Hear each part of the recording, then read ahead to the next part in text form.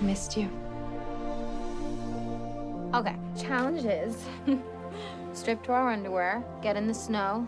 First one to get up walks around the block naked. Let's do it. Go! Ah! Oh, it's so cold! You win, all right? Let's go. Jules? Baby, come on. Jules. I'm sorry, but a kidney transplant is the only solution. You're all I've got.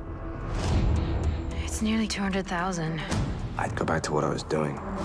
I don't want you to do that for me. All I'm trying to do is protect you. You have come back. I knew it. You look tense. Boom!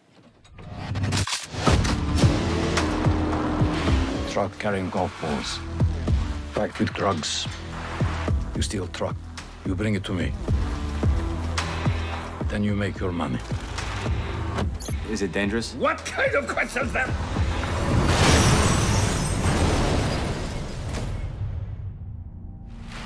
I wonder who this foolish man could possibly be.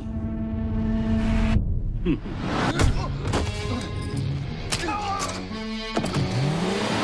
I misjudged you, my friend. I believe I have something you want.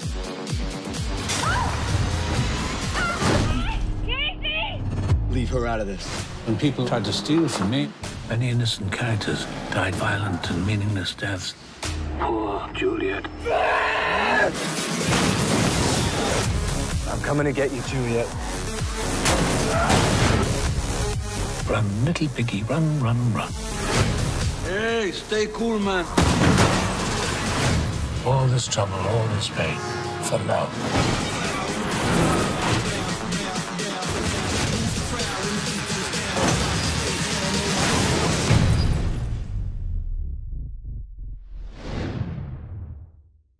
What did you think of that thriller? Thumbs up or down? Unfortunately, too often thrillers aren't really that thrilling. Like horror, it is hard to avoid cliches when it comes to thriller movies.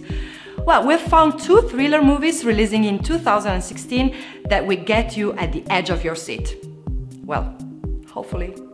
Inferno by Ron Howard, releasing on October 14, the sequel to the 2006 blockbuster The Da Vinci Code and 2009's Angels and Demons.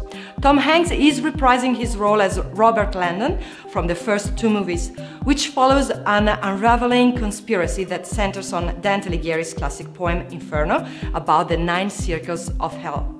Hanks is joined this time around by Felicity Jones and Ben Foster.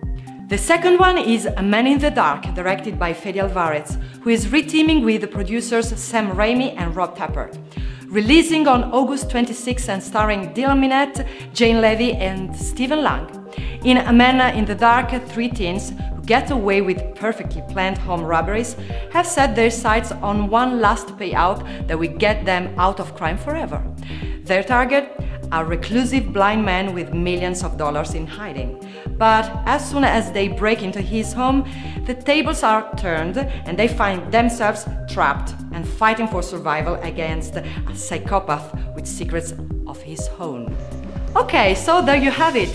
Let me know in the comments below your thoughts on these movies and I will leave you with our thriller movie playlist so you can watch all the trailers.